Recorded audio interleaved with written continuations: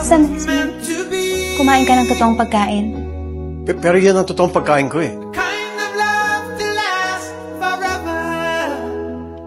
Kailangan ko ng tulong mo. Kaya kailangan ko masigurado na nasa maayos kang kalagayan.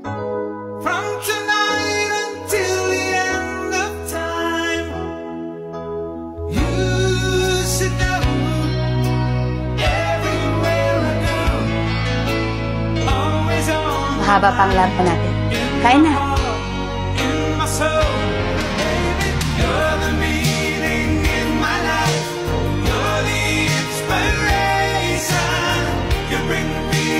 to my life.